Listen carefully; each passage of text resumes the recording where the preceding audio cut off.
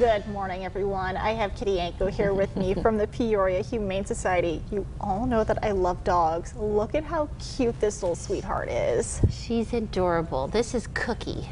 And she's only a year old, so this is how big she's going to be. Yeah, she's going to be a little a little girl. She's a Chihuahua, I think, and she is looking for a home to to love her and to call her cute every day. She's, okay, so she's a Chihuahua. She's a little anxious right now, but as you can see, she is very affectionate. Uh, she just needs some time to adjust when she gets to her new home. And otherwise, oh, she just, oh, she's so sweet. She really is. And with dogs, we have Bark in the Park coming up. So she'll be ready for adoption Yeah. when the time comes. She's ready. And hopefully she's adopted before Bark in the Park, which is coming up next month.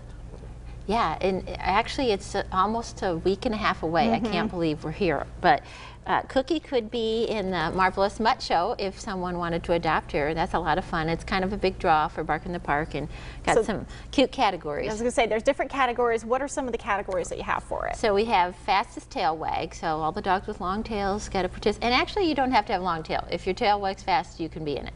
Um, and then we have owner look-alike, and the best costume is probably one of the popular ones. And then best trick, and then we have bad hair day. So Which, that'll be fun. Which uh, category is one of your favorites?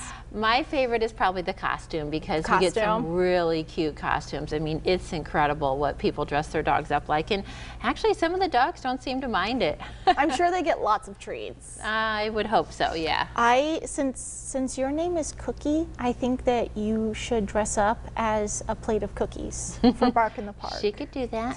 She's only a year old. She is ready to be adopted. And if you would like to get more information, you can contact the number on your screen, 672 2440. And you can get more information on ciproud.com.